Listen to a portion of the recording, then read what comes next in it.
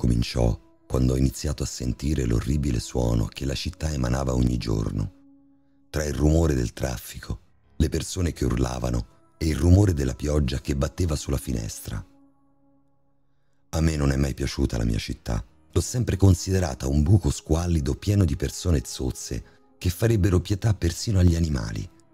Un gregge di pecore stolte ed ignoranti, pronti a discriminare chiunque non fosse come loro. Si può dire che in un certo senso io sia sempre stato la pecora nera di tutto il gregge. Io mi chiamo Dante. Sono nato e cresciuto in questa piccola città della Sicilia, ma a dire il vero non mi ci sono mai trovato. Mi sono sempre sentito come se non appartenessi a questo posto, come se fossi stato nel luogo sbagliato. Ora ho 16 anni e sono al secondo anno di liceo. Dovrei essere al terzo anno ma a causa delle continue risse e quindi dei bassi voti in condotta venni bocciato, ma non me ne sono mai pentito, anche perché quei bastardi meritavano fino all'ultimo pugno. Insomma, non andavo molto d'accordo con le pecore che frequentavano la mia scuola. Non perché cercassi io la rissa, ma sono sempre stato facilmente suscettibile. E quei coglioni continuavano a provocarmi di continuo, prima per il mio modo di portare i capelli, poi per il mio modo di vestirmi e se volevano fare a botte, io non mi tiravo indietro. Ritenevo inaccettabile che si prendessero gioco di me o che mi sparlassero alle spalle. C'è stato una volta un ragazzo che mi consigliò di lasciarli perdere, di voltargli le spalle e ignorarli.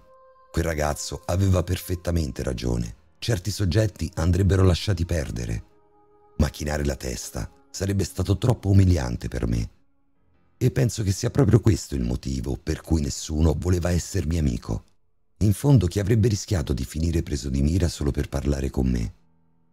L'unico vero amico che abbia mai avuto era Tree, un bellissimo beagle da caccia con degli occhioni enormi e la punta della coda bianca. Mio padre mi diede Tree quando era ancora un cucciolo.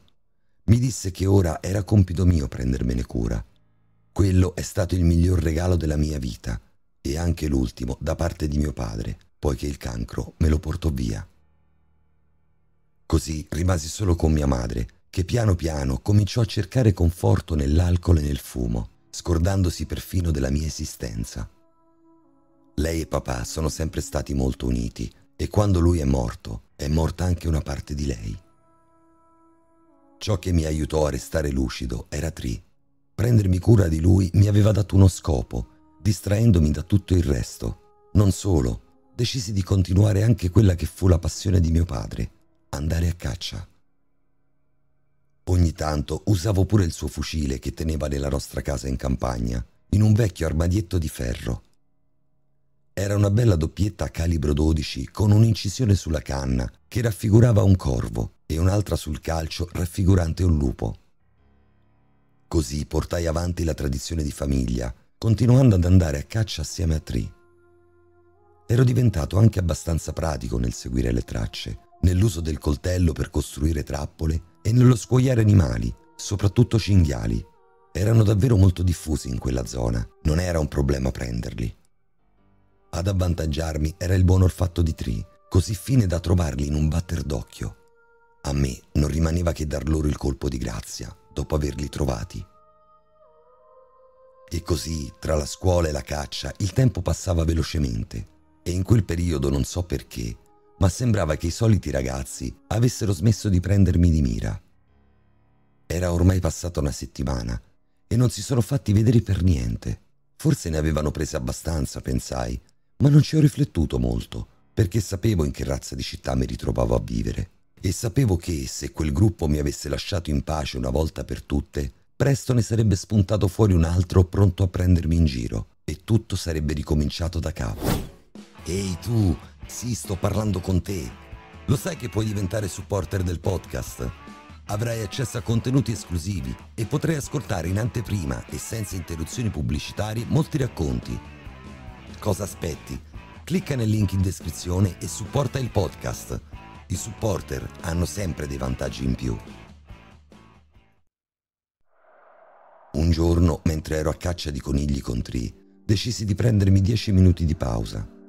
Mi riposai sedendomi su vecchi binari inutilizzati del treno. tirai fuori il telefono e mi misi le cuffie per ascoltare la musica, osservando rilassato gli alberi del bosco. Anche Trissi era coricato a fianco a me, fino a quando la pace non venne spezzata dalla vibrazione di una notifica. Sbloccai il telefono per vedere di chi si trattava e vidi che qualcuno aveva inviato sul gruppo della classe una notizia di giornale. Lessi la notizia riportata nel messaggio. Annunciava che dei ragazzi della nostra città erano morti in un incidente d'auto. Riconobbi le facce di quei ragazzi dalle foto. Erano i teppistelli, i classici idioti che si atteggiano a gangster. Poi notai che il giornale la raffigurava come una tragedia, qualcosa di orribile, e persino le testimonianze degli amici li compativano, descrivendoli come bravi ragazzi, affermando che quell'incidente era un'autentica ingiustizia. In quel momento venni sopraffatto dalla rabbia come potevano dire che era stata una tragedia la morte di quegli idiotici teppisti? Loro non li conoscevano, non sapevano che razza di persone erano, di che cosa hanno fatto agli altri nel corso della loro esistenza. Erano solo dei miseri bulli da strapazzo, non valevano niente. Se si sono voluti divertire andando a cento all'ora dentro il paese, non è stata una fatalità, ma se la sono andata a cercare. Ora che sono scomparsi, al massimo il mondo è diventato un posto leggermente migliore. Mi alzai di scatto e ancora furioso mi misi a calciare contro una roccia per sfogare la mia rabbia. Anche Trissi era spaventato dalla mia reazione, andando a nascondersi sotto a un cespuglio. In quel momento mi resi conto che sarebbe stato inutile proseguire la caccia.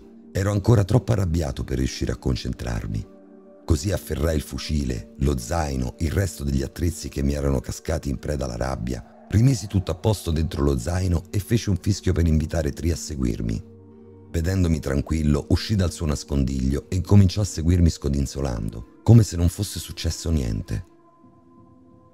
Posato il fucile nel solito nascondiglio, mi cambiai i vestiti da caccia rimettendomi il solito giubbotto di jeans nero e i pantaloni con gli strappi. Una volta sistematomi, mi avviai verso casa con tre al guinzaglio, consapevole che una volta ritornato, l'unica cosa che avrei trovato per cena sarebbe stata mia madre ubriaca sul divano consapevole di dover fare tutto da solo, come sempre. Ma mentre tornavo a casa, incrociai per la strada uno di quei ragazzi che mi prendeva di mira a scuola, intento ad accendersi una sigaretta mentre era appoggiato al muro. Il suo sguardo incrociò il mio, mi squadrò dalla testa ai piedi e lanciò un'occhiata maliziosa dritta a Tree. Non ci diedi molto peso, così mi affrettai a tornare a casa più per paura che potesse succedere qualcosa a Tree che a me stesso. Rientrato a casa come da programma, mia madre era addormentata sul divano, ma un odore richiamò la mia attenzione. Notai che sul tavolo della cucina c'era un piatto coperto da un fazzoletto con un bigliettino a fianco. Raccolsi il biglietto per vedere cosa c'era scritto. Era un messaggio scritto da mia madre rivolto a me. Lessi, Dante, scusa se anche oggi non potrò trattenermi in compagnia con te. Mi rendo conto della brutta situazione in cui ti trovi e mi dispiace di non averti sostenuto. Ma adesso voglio cambiare le cose. Voglio ricominciare da zero e ritornare ad essere una vera madre. Spero che tu possa perdonarmi e che questo piatto segni l'inizio di una nuova vita per noi due. Mi girai verso mia madre, gli misi una mano sulla testa e con lo sguardo di chi trattiene le proprie lacrime gli sussurrai, ti perdono. Mangiai assaporando ogni boccone. Lavai pure il piatto e le posate. Rimisi tutto in ordine, così che al suo risveglio non avrebbe dovuto farlo lei. Gli diedi un bacio sulla fronte e mi incamminai per andare a dormire. Anche Trissi era addormentato nella sua cesta e nella casa prese a regnare un silenzio sovrumano. Un rumore mi svegliò di colpo. Corsi in salotto a vedere cos'era stato Qualcuno aveva rotto una finestra. Un estraneo era entrato in casa. Estrassi il coltellaccio a serramanico di papà e incominciai ad ispezionare tutte le stanze della casa, pronto a scovare e inchiodare il bastardo appena entrato. Appena giunsi in cucina, ciò che vidi mi tolse completamente il fiato.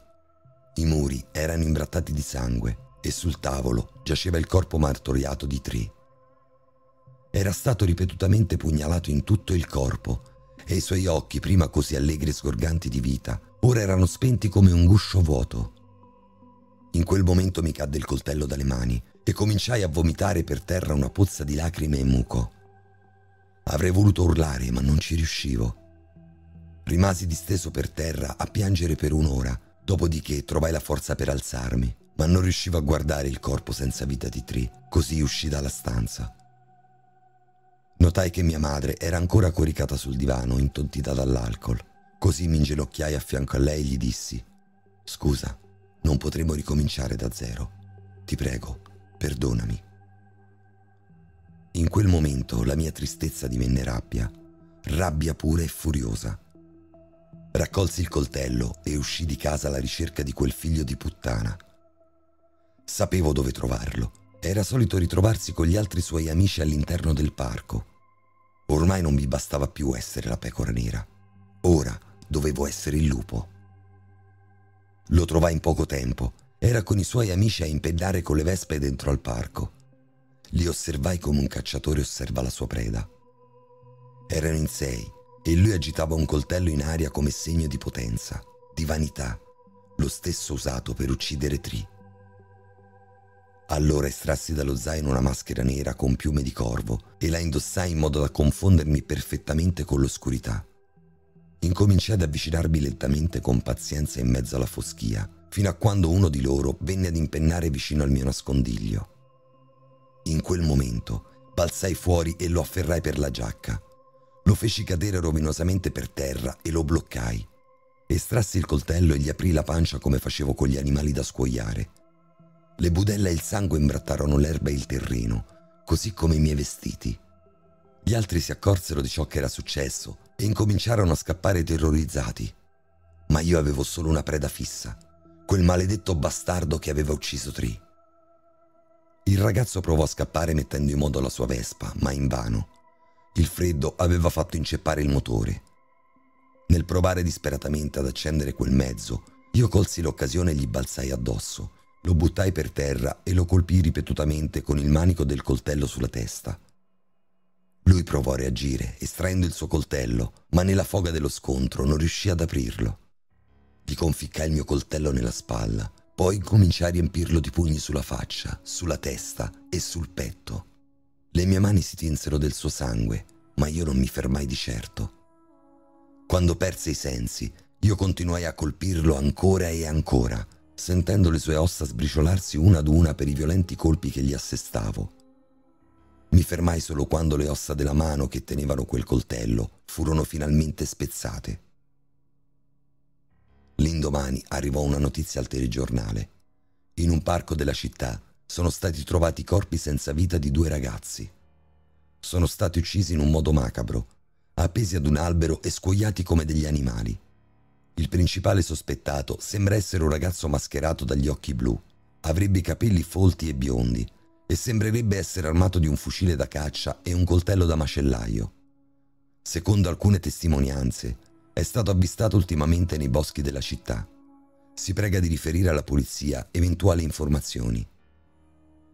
Queste erano le parole della giornalista al TG Nazionale un avviso a tutti coloro che avessero voluto contribuire alla ricerca di questo spietato assassino. Ma sì, cercatemi pure. Questi boschi sono la mia casa.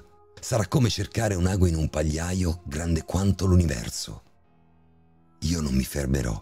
Ripulirò questa città dalla feccia che la infesta. Ripulirò tutto da cima a fondo.